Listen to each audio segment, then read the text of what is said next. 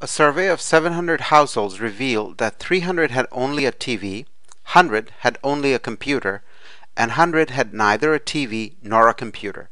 How many households have a TV and a computer? So I'm going to use a two-set Venn diagram to solve this problem. So let's go ahead and look at the solution. So I have the question on top of my picture. I have a Venn diagram it's called a two-set Venn diagram. Let's understand what it means. This circle represents all the people who had TV or all the households that had TV.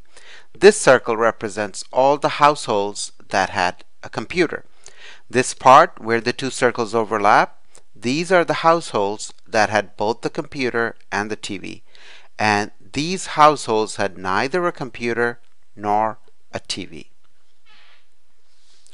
So if a survey of 700 households, so this number should be the sum of these four numbers that we will be putting. By the way, whenever two of the two circles overlap, four regions are created. So what are the four regions? The circle for TV represents all the people who own a TV or all the households that own a TV.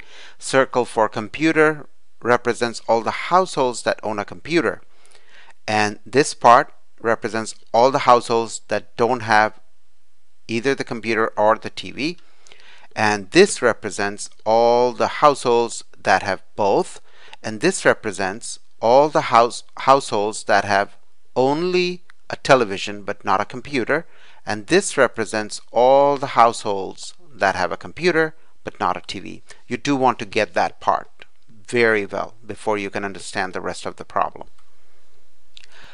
So let's go ahead and fill out the Venn diagram. 300 had only a TV, 300 goes here.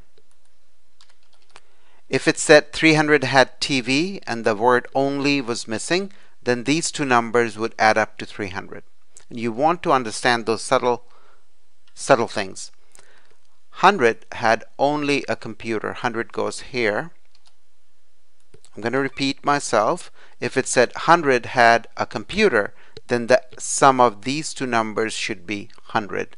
But it doesn't say that. It says 100 had only a computer, so this part represents the households that only had a computer, not a TV.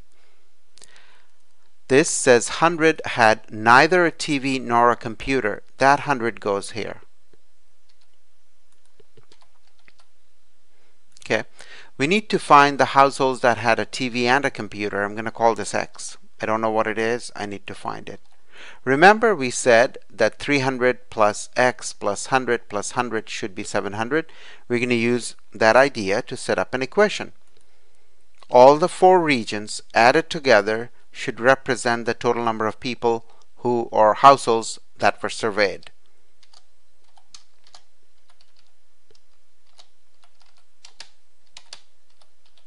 Now we just solve for x. 300 plus 100 plus 100 is 500. I'm going to write here if you don't mind.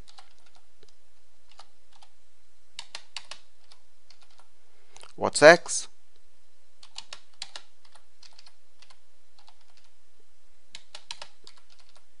x is 200.